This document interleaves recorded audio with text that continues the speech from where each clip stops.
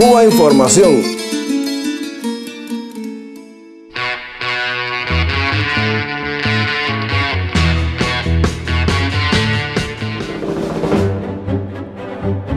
En Cuba hay bandas de rock en todos sus géneros, desde el heavy metal al hardcore, pasando por el death metal, el rock alternativo o el punk.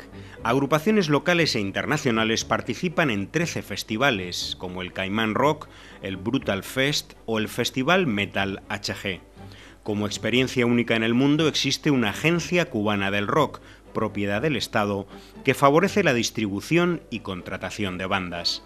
Por eso, escuchar esto en el canal español La Sexta, en su cobertura sobre el reciente concierto de los Rolling Stone en La Habana, es casi alucinante. Cuba ha vibrado al son de sus satánicas majestades, enseñando su característica lengua por esos 40 años de censura del rock en la isla. Otro canal español, 4, repetía este mismo disparate, pero ahora la supuesta censura se limitaba a la música de la banda británica. Porque la música de la legendaria banda de rock británica había estado prohibida en Cuba hasta ahora.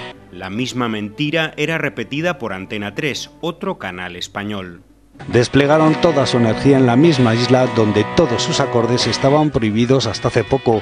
Otros medios no llegaban a tanto, pero repetían con machacona precisión un mismo mensaje. Ahora no, pero hace décadas la revolución cubana censuró, discriminó o prohibió el rock.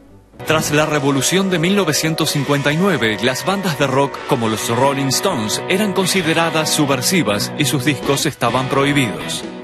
Es cierto que en los primeros años de la Revolución y hasta mitad de la década de los 70, el rock en idioma inglés no era programado en las radios, pero jamás estuvo prohibido. Desde aquel periodo han pasado ya 40 años. Por ello, si una persona con 45 años, como la escritora cubana Wendy Guerra, en un artículo en El País, nos cuenta que nos prohibieron la música de los Stone durante un tiempo tan largo como su propia carrera, sencillamente está mintiendo. Los medios internacionales repetían además un segundo mensaje, que el concierto se debió a una supuesta transición, a una apertura, incluso a una primavera política en Cuba. Un concierto que marcó la apertura cultural de Cuba.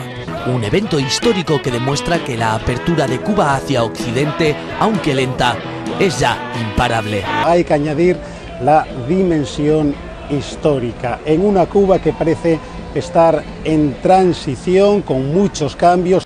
Pero si los Rolling Stone y otras grandes bandas no actuaron antes en la isla, no fue por obstáculos desde Cuba que no fueran los económicos.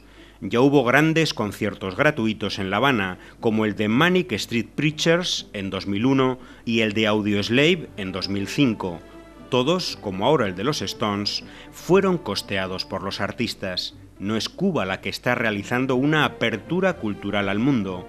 Lo que ha cambiado realmente es que el gobierno de Estados Unidos y los medios de comunicación que le acompañan han relajado su agresión política a Cuba.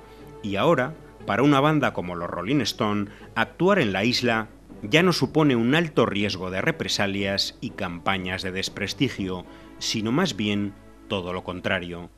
Una última reflexión. En casi todas las noticias se asocia este gran concierto con los absurdos e incomprensiones hacia el rock que ocurrieron en los años 60 en Cuba. En aquellos mismos años, en Estados Unidos, existían, por ejemplo, leyes de segregación racial que fueron abolidas en 1965 y tardaron aún años en ser aplicadas en todo el país.